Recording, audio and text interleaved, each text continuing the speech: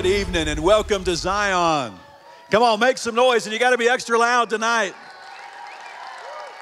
As we're going to praise Him, you know, I just want to give a shout out to every single brave, courageous, and strong soul that got out tonight to be here in person. So come on, give yourself a hand. But let's be real. I also got to give a shout out to all the wise and warm people who are back at home and are enjoying this and pressing in, thank you for joining us at Zion Online. Of course, obviously, our campuses who are not in the winter freeze, we're so glad that you are with us as well. It's awesome to be together tonight. I do want to remind you of a couple of things, and I'll introduce our speaker. First off, I want to remind you if you're here and you happen to be at Hollywood Road and you want to still participate in the petition for making Amarillo a sanctuary city for the unborn, remember you have to be a citizen of Amarillo and you have to be registered to vote in the city of Amarillo. And if you want to do that, our teams are here. You can sign up on that. Also, want to remind you we've got Zion tomorrow night and then an incredible worship night on Wednesday that'll be live at every campus. It's going to be incredible, a great opportunity to just keep going with Zion and pressing in with the Lord. You know, I, I want to echo something Pastor Matt said when, when Chuck last night was talking about the winds. I, I didn't know that he meant today, I didn't know he meant the, the very next day. But Pastor Joab looked it up for us based on what Pastor Chuck said, and it's the mercy that is, is blowing in. So we'll just receive it. Can we just receive the mercy of God that's blowing in? We're going to receive that tonight. Well, it's great to be here. I am so excited to introduce uh, our guest this evening, Pastor Jimmy Rollins. Uh, Kim and I got to meet Pastor Jimmy and Irene, his wife, during the XO tour when they were coming through, and they did, spent quite a bit of time with XO, so we got to get to know them there. They become friends through that. Jimmy is an incredible, gifted, anointed speaker. He's also an author. He and Irene both. They've actually got a brand new book that's coming out this fall on marriage. I can't wait to get that. It's going to be incredible. They minister all over the country country. They minister at different churches. Uh, but he comes from West Palm, Florida, West Palm Beach, Florida. So let's give him some extra love as he comes up on this snowy night to join us. Come on up here, Pastor.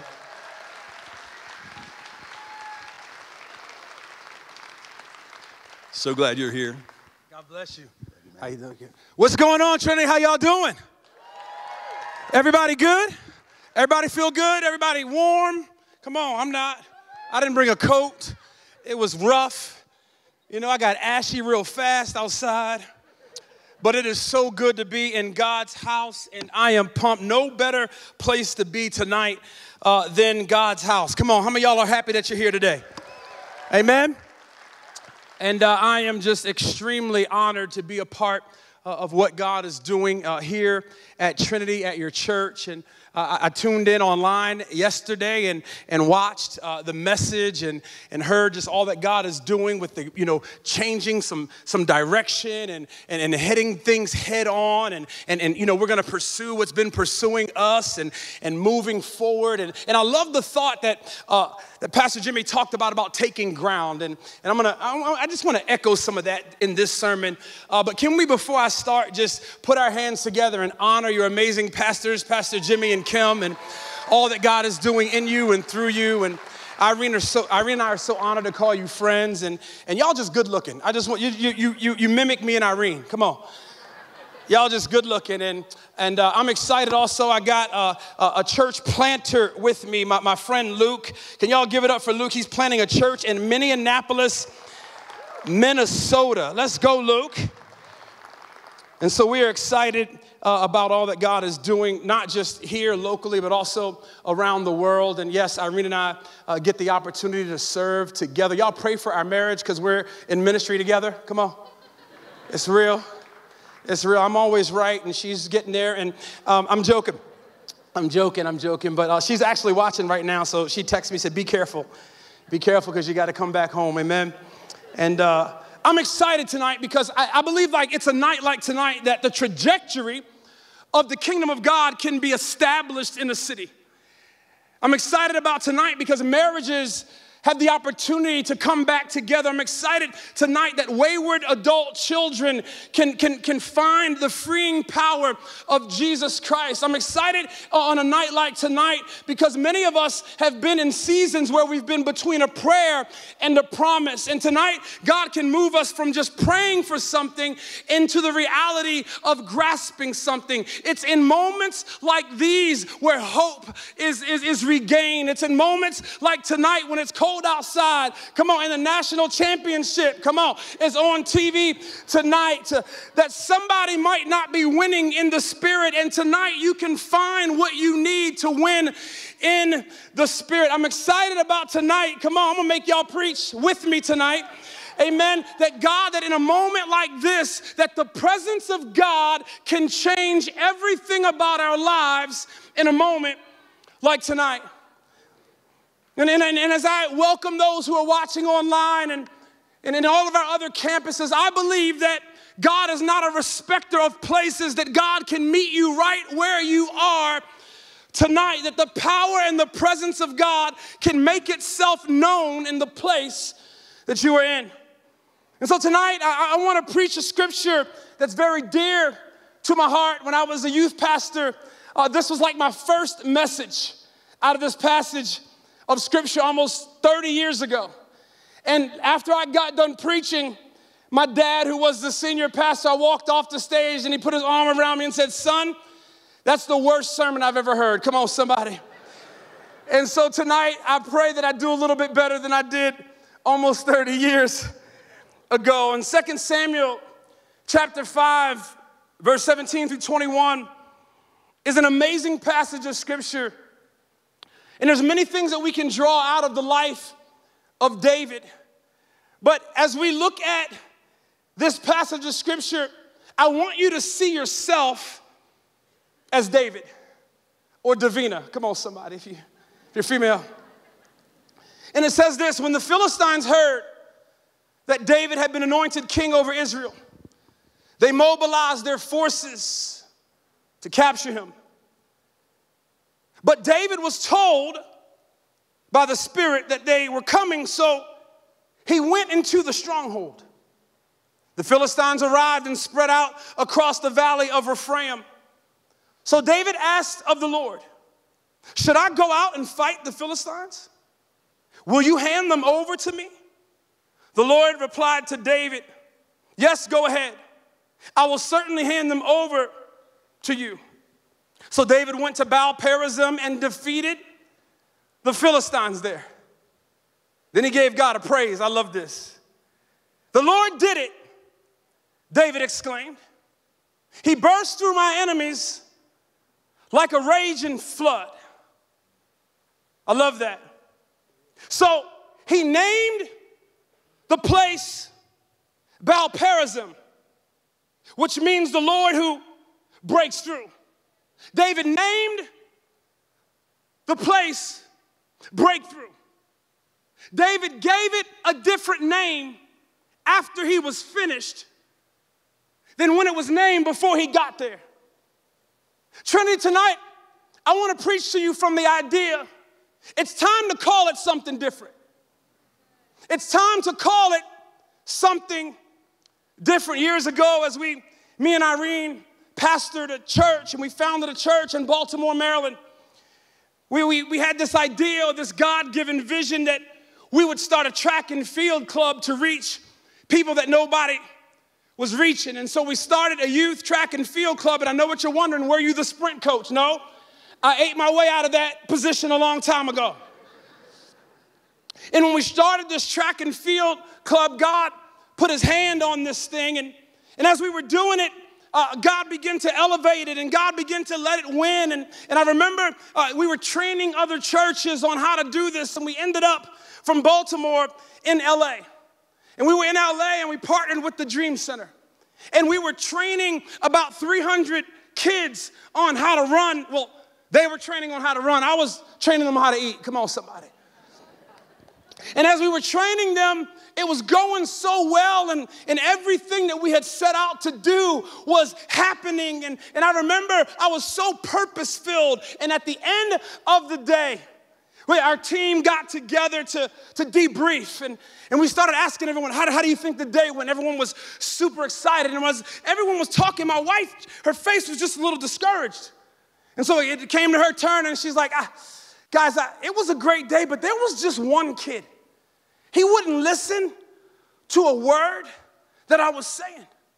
And I was like, really? Show me. Come on, somebody. I'm that dad. I'll, I'll beat him. Come on, y'all. Ain't no timeouts in my family, you know. Just And so I said, shit. And he said, no, no, no, no. She goes, I don't know what. I was calling him all day. And, and I said, well, what was his, his name? And, and she says, Savage Tone. Savage Tone. Somebody say Savage Tone. And I said, really? I, I didn't see a Savage Tone. And she says, it was so disrespectful that he wasn't listening to me all day. And I was like, okay. And, and I was going through, and, and all of a sudden, something occurred to me. I said to her, You mean Savage Tony? S A V A G E, Savage Tony? And she goes, Oh my goodness. And I said, What? She goes, I was calling him the wrong thing all day, and he never responded to what I was calling him. And as I began to think about that story, I was thinking about discouragement when it comes to our lives. And I began to think about all of the marriages that are in disarray. And I began to think about people who have, who have been plagued with financial debt. And, and you ask someone, ask them, how is it going? And they says, man, I'm just in debt. And my wife is always tripping. Come on, somebody. And my husband acting just like his daddy. Is there anybody out there tonight? And, and what we do is we start calling something that God wants to do the wrong thing. And the Bible says that out of the heart, come on, somebody, the abundance of the heart, the mouth speaks, and what you say is what you get. Could it be that God wants to break through in your life? Could it be that God wants to do a miracle in your life? You've just been calling that miracle the wrong thing.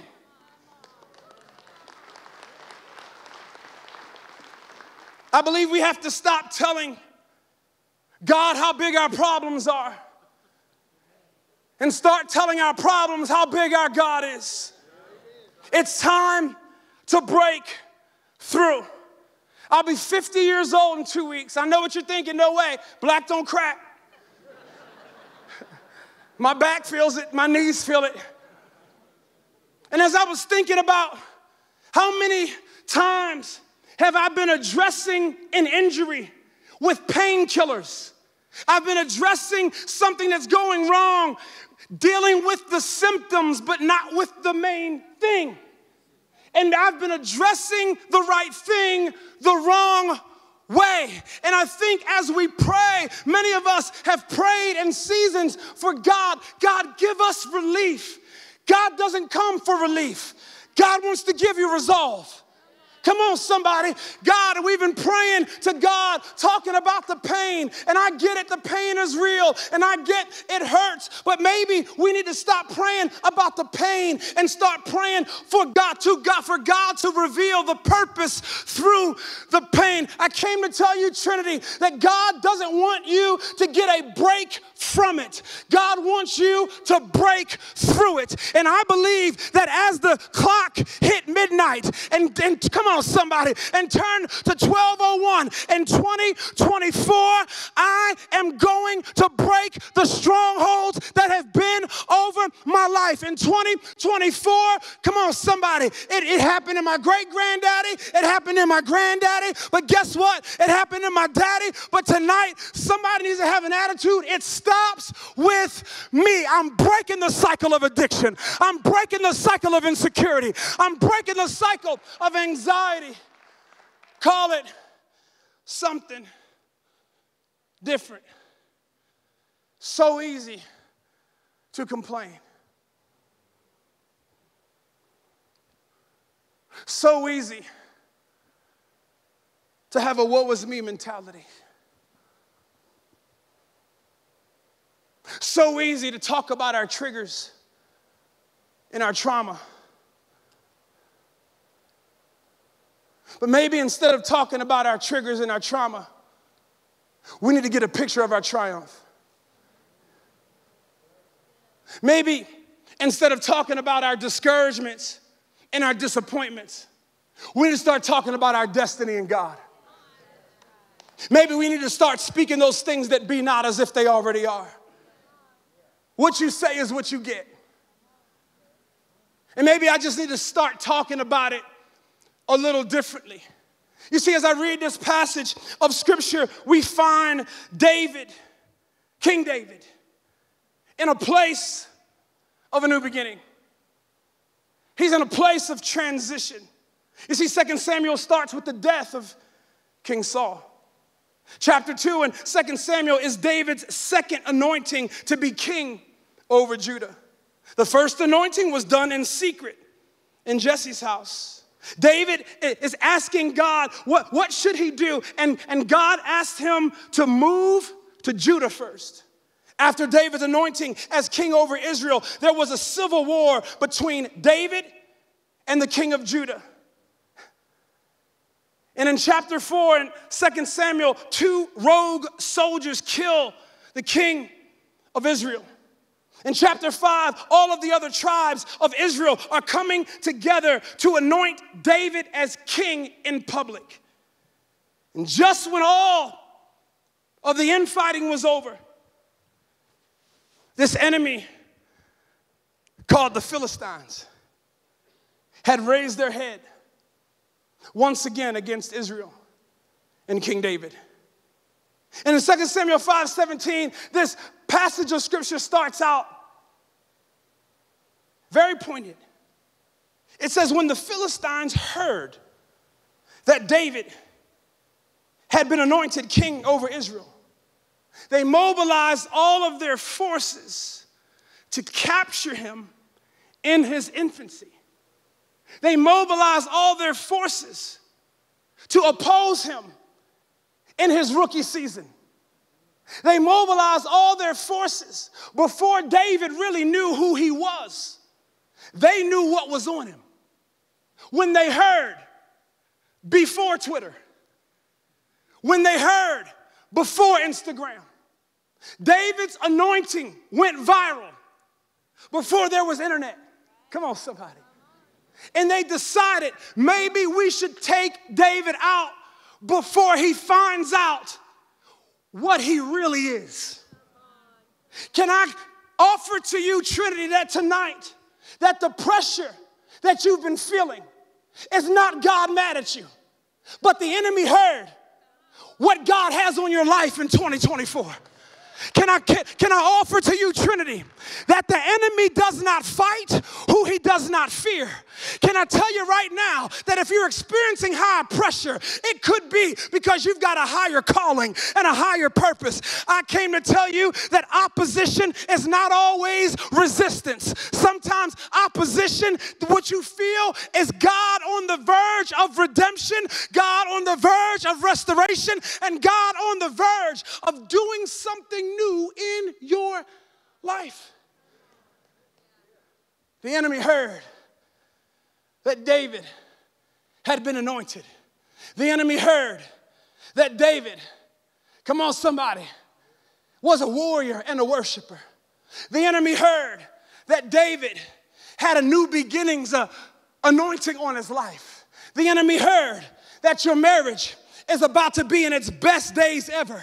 The enemy heard, come on, that you don't have a good resume, but you're about to get an upgrade or a promotion on your job. The enemy heard that the best days of Trinity are ahead of you and the worst days are behind you. And I love when Pastor preached that this season we're going forward towards the fight. We're not shrinking back, and it is not big. Somebody, somebody say, I ain't scared no more. I ain't scared no more. Guess what, guys? There are more for you than against you. And if God be for you, who can be against you? The enemy heard. He heard. He heard that on a cold night you decided to get in your car and come to service anyway. Could it be that God has more in store for you? Could it be, Trinity, that your best days are ahead of you and your worst days are behind you? Could it be that the enemy knows that you are the head and not the tail? Could it be that the enemy knows that no weapon that is formed against you is going to prosper? Could it be, come on, somebody, I feel God, don't make me get a B3 organ and do a Jericho march around this round stage tonight by myself.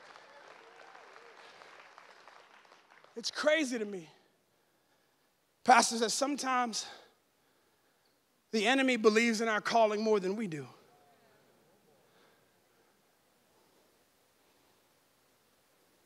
He heard. I gotta start calling myself something different. I'm gonna be honest with you, I stand here tonight with dyslexia. I stand here tonight with a learning disability. I stand here tonight and got pushed through high school because I was a troubled teen. And I used to think, man, the enemy, he's all against me, man, and God ain't for me. And why was I born this way? And why do I feel like I'm different? And maybe you're a teenager watching this and you don't feel like that God has much purpose on your life. And I'm telling you right now, I'm not here to brag on anybody but Jesus. But I can't believe that somebody who can't read barely or write barely wrote a book. I, I, I can't believe that someone who grew up with a stuttering problem and used to stutter so bad I wouldn't even talk in crowds. Isn't it funny that God would put a microphone in my hand and allow me to preach all over the world? Can I tell you, I can't tell you the day that I heard what the enemy heard. I heard that I am anointed. I heard that greater is he that is in me than he that is in the world. I pray tonight that you start hearing the voice of God and what God has said over your life, that you have a purpose and a destiny. Come on, somebody. I believe tonight that God is waking something up in the room. Come on, somebody, that you're going to hear the voice of God. Come on, you are you are at your computer with some bad speakers, but the Holy Spirit can speak to you in a see nothing season. I am a living, breathing, walking, talking testimony that God doesn't use us because of us, but He uses us in spite of us. Is it okay if I preach, preach a little bit? He heard. So, Pastor, I get it. So, how do I call it something different? How, how do I get to the place where I can call a hard marriage breakthrough? How do I get to a place where I can call anxiety breakthrough? How do I break the cycle of saying the same thing? I'm glad you asked. Number one, it's time for you to pursue what has been pursuing you. Your pastor preached, he says, We're going forward. We ain't running from the fight. We're going towards the fight. We're going to take ground instead of, come on, I, like I would say in my church back in the day, I ain't no punk. God's with me. If God be for me, who can be against me? I, we got to pursue what has been pursuing us. It says in 2 Samuel 5 17, when the Philistines heard that David had been anointed king, I can't see anymore, y'all. Over Israel, they mobilized all their forces to capture him. Watch this now. But David was told that they were coming. So he went into the stronghold. Ooh. I'm talking about old school Ron Kenoly. I'm going up to the high places. I'm going up to the high places. The young people are like, what? That's not Maverick City. There's these other things called hymns. I'm going up to the high places to tear the devil's kingdom down.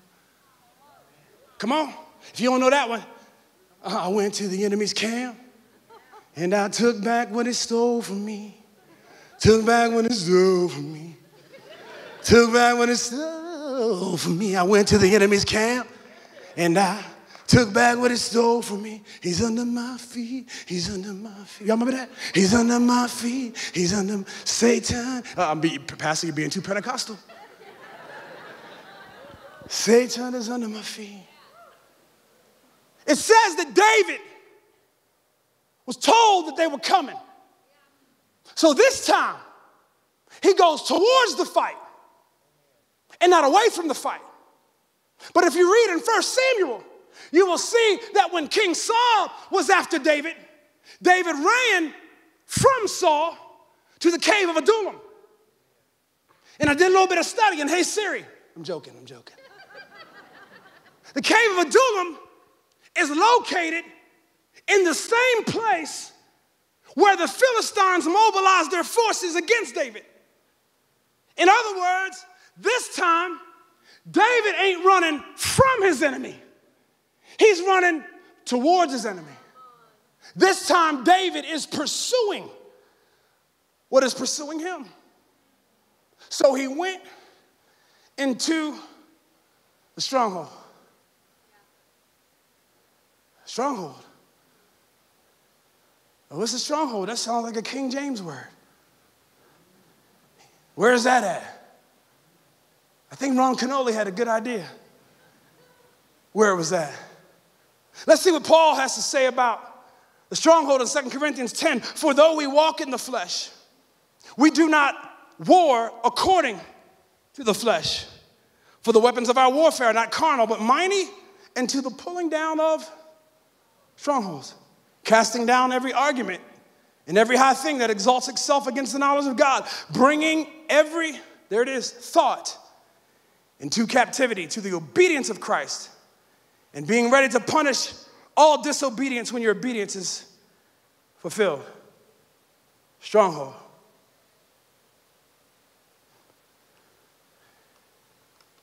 Where is it? It's right here. It's a way of thinking.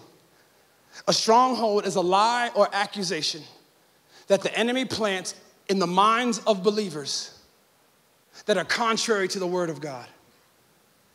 Before anyone ever gets addicted to a substance, they first are addicted to a thought. I know this because my wife battled alcohol addiction. And this November, we celebrated eight years of her sobriety. Come on. But as we dug deep into what happened, we realized that she did not believe scriptures like, You are fearfully and wonderfully made. She didn't believe scriptures that no weapon that is formed against her is gonna prosper.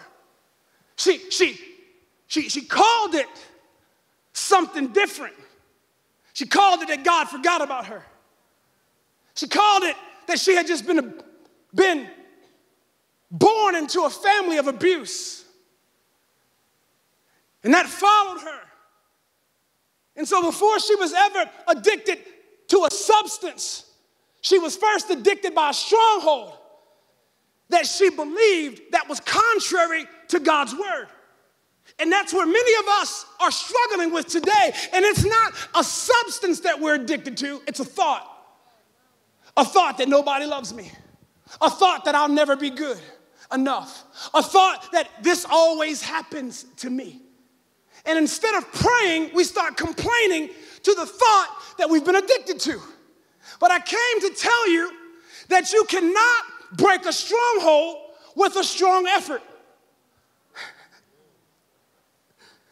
This time, I'm gonna do a fast and, and I'm gonna only eat this. And, or this time, I'm gonna I'm work out. And maybe I've been overweight a long time. And that was me because during my wife's addiction, I got addicted to food and addicted to this emotional that this is happening to me. And in 2017, I weighed 420 pounds. I know you're wondering, how did Irene even love you? Come on, somebody. I know, I know you were thinking. But I was addicted to a thought, preaching, addicted to a negative way of thinking, anointed, traveling, addicted that my wife will never love me the way I need to be loved. And because I was addicted to a thought, I came addicted to something other than the presence of God. Are y'all hearing me? Until I went to the high place to tear the devil's kingdom down. Paul says we have to make this thought and bring it into captivity. Come on, somebody. We, we have to cast down the argument that the enemy has, ta- has caused us to believe that we'll never be good enough. And I came to tell you, you are good enough. I came to tell you, Jeremiah 29 11, that God says, I know the plans I have for you, declares the Lord. Plans to prosper you, not to harm you, to give you a hope and a future. It's time to start pursuing what has been pursuing you. I thought like five people would clap right there. It's amazing. So when I was a troubled teen, I got in a few fights. I won. And I remember being at this basketball game, and I was a teenager, and we were talking trash in the wrong community. And after the game, I thought I was just gonna face our 11 versus their 11 for a fight in the parking lot. Can I just be honest? Just, just, it was me. Don't judge me. I'm, God is still working with me. Come on, somebody. And when I came out in the parking lot, it wasn't their 11 against our 11. Their aunties, their uncles, their cousins. And we, if you don't know what this is, we were about to get jumped. Jumped is you're gonna get beat up by a whole lot of people. So as I saw what was happening, I was the fattest and I was the slowest. So I ran first. Come on, somebody. And I'm running. And I turn around and there's a guy chasing me. This Baltimore now with a baseball bat. Yep. I feel that's why I love this church because security's all around. I feel so protected here. I ain't gonna lie. Bring your bat. Somebody will shoot you. Come on, like, like, like, like. I saw I was in the lobby. Somebody had a gun. I'm like, what? I feel safe. I ain't felt safe around white, white people with a gun before. Come on, somebody. I'm joking, I'm joking. Just make, make, make sure some of y'all in the room, make, make sure you were here. Don't send an email. And all of a sudden, I'm running. And, and, and the dude did something crazy. He threw the bat at me. So he threw the bat and he missed. And I heard the bat hit the ground. Oh my God. There's a bat.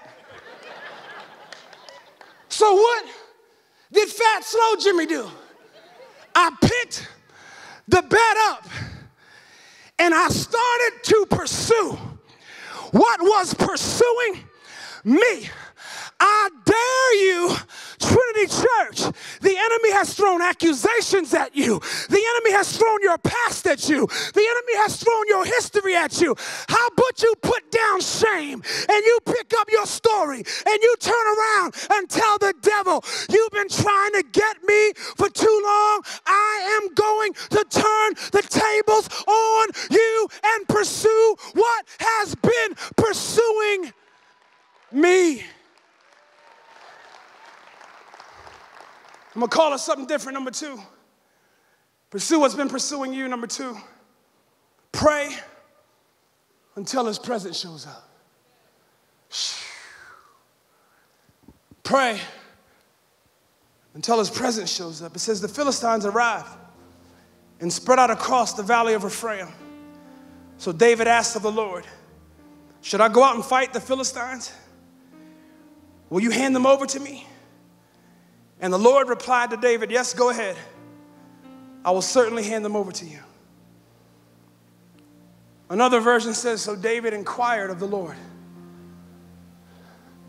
And the Lord responded to David. Can I tell you something, guys? In my life, I'm nothing outside of His presence. I'm, I'm not talking about a popular song. I'm talking about I have found that in his presence there's fullness of joy. I was wrecked and ruined for the presence of God as a young boy. Watching my parents preach and have altar calls and watching people get restored and watching miracles take place. And I don't care how fancy church gets. I don't care how many hit songs are written around the world. I have learned that the presence of God is not found in the lyrics of a song presence of God is found in the lifestyle of his children. And I'm telling you right now, uh, young people, if you're in this room, if you're watching online, I want you to listen to me. You will never find your confidence in the presence of the right boyfriend or the right girlfriend. It's in the presence of God. It is sitting in service. There's a young lady here, I was watching you doing worship on your knees, broken before God. And I'm telling you, it's in God's presence that I find my confidence. And I have, I have come to discover in my life that what is birthed in the spirit can only be maintained in the spirit. And many of us, we, we, we, we, we come to the altars and we, and we come to church and we pray for God's presence and, and, and God shows up and, and he does miraculous things in our lives. And, and, and what happens is, is we're so, you know, uh, uh, uh, we've been praying for God to move, but if we're honest, we have sought his hand and not his face. Because when he gives it to us, I've come to discover that we leave the sweet spot of God's presence. And what I've been praying for 2024 is God, will you allow us to encounter your presence more?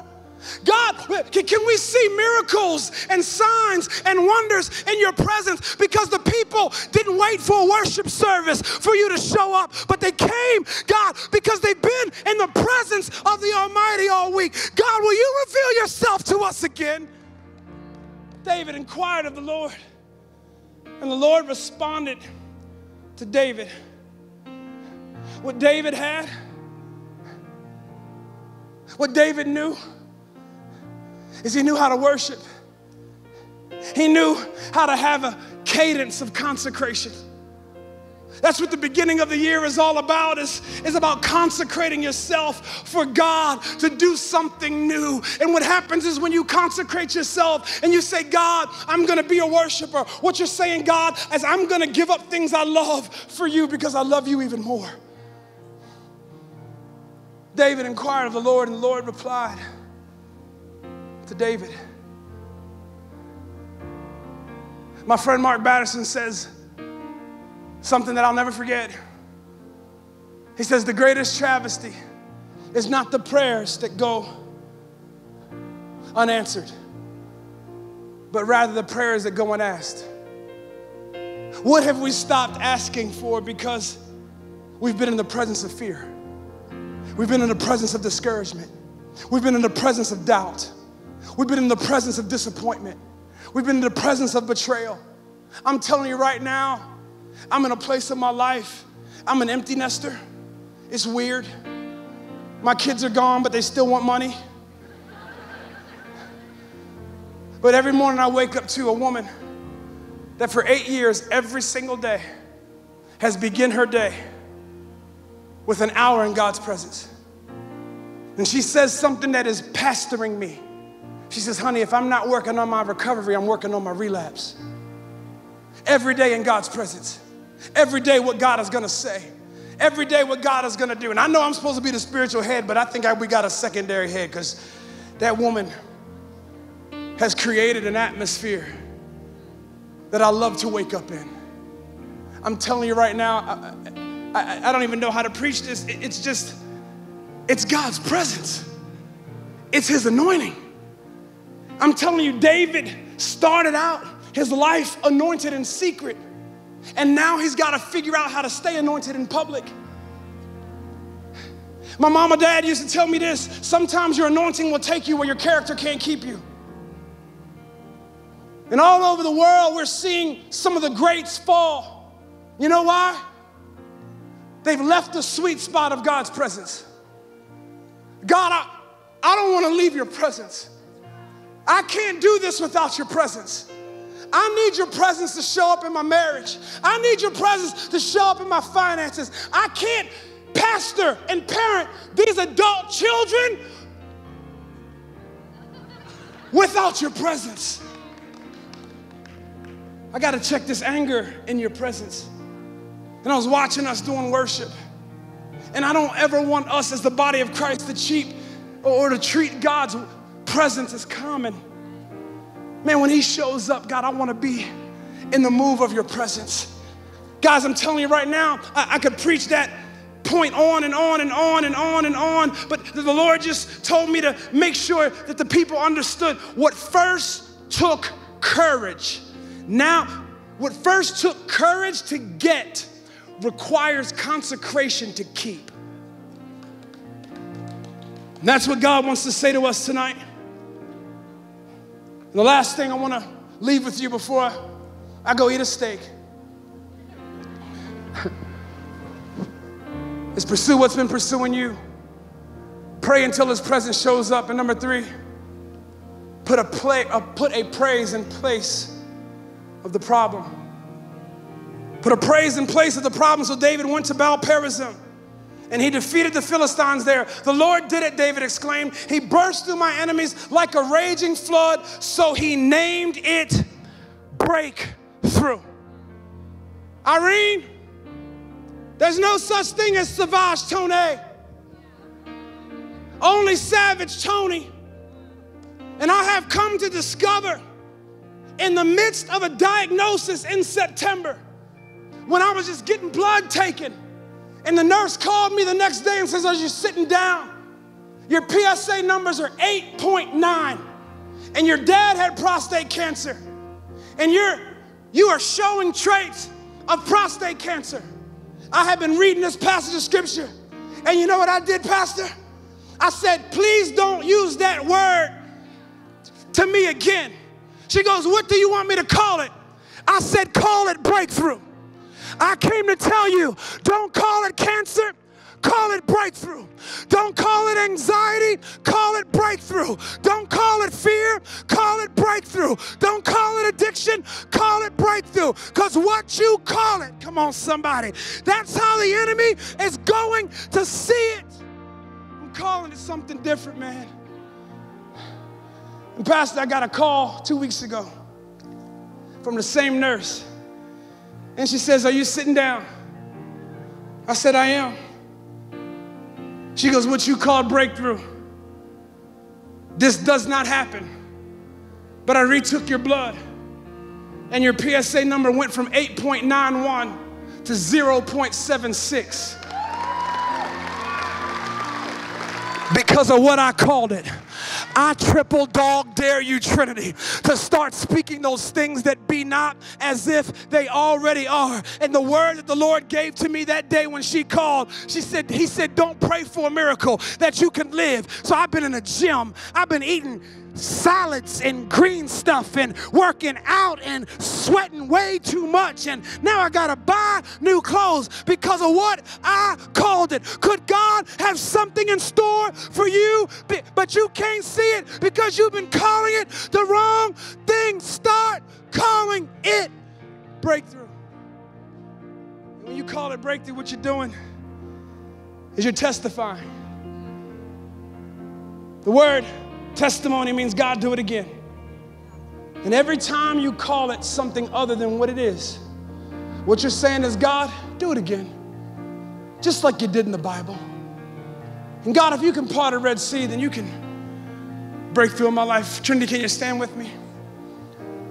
I believe it'd be a good idea that all of us in God's presence would just raise your hands. And from you are all things and to you are all things. You deserve the glory.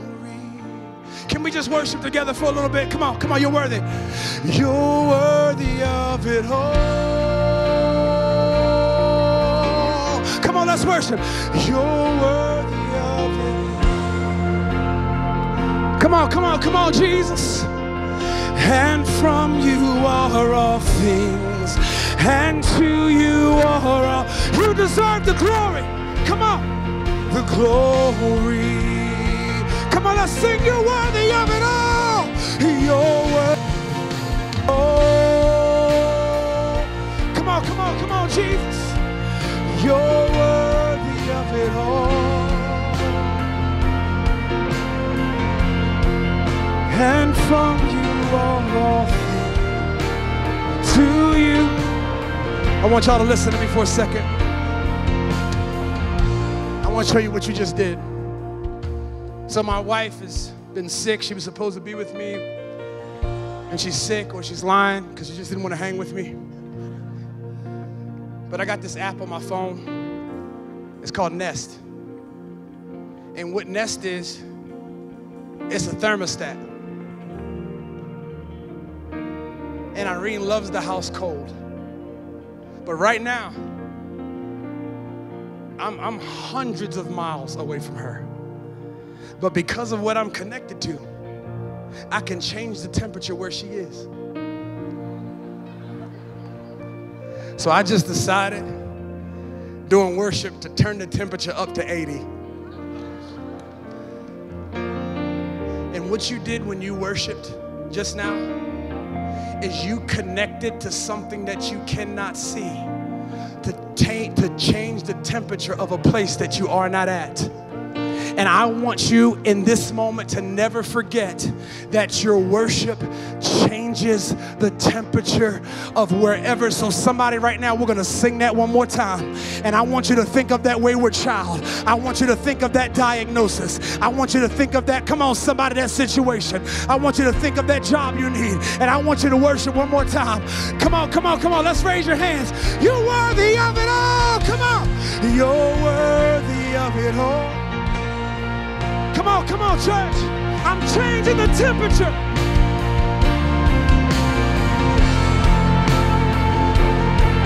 Come on. And,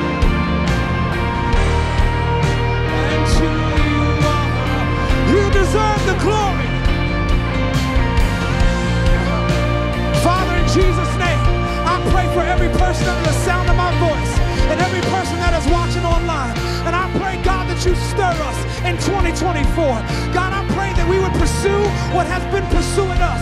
Father, I pray that we would pray until your presence shows up. And Father, I pray that we would put praise in place of the problem. God, because you are worthy, I'm not calling it doubt, I'm calling it breakthrough.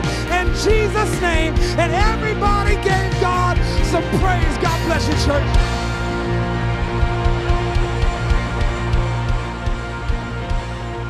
Come on, let's give God one more shout for that. That's amazing. Amen. Amen. Well, it is so great to be with you tonight. We're so excited about tomorrow night as we continue with Zion. I did want to let you know we're not going to do ministry tonight just to give everybody a chance to get home safely. And so let me just pray a blessing over you. I do want to remind you if you want to sign the petition, you can do that on the way out. Otherwise, just don't forget your kids. That's the all, all you got to remember as you're as you're leaving here. Father, we're so thankful for you. And God, we're thankful for this word tonight. And we want this to get down deep in our spirit. So, Father, we receive it tonight. And Holy Spirit, I ask that you would be with each one of us as we go tonight. Keep us safe as we're on the roads, keep us safe as we get home. But, God, I pray that you would allow this breakthrough to move us into the new dimension that you have for each and every one of us. So, Holy Spirit, increase our faith increase within each one of us as we move towards you and we pursue you. In Jesus' name we pray. Amen. Amen. We love you guys. Be safe going home. God bless.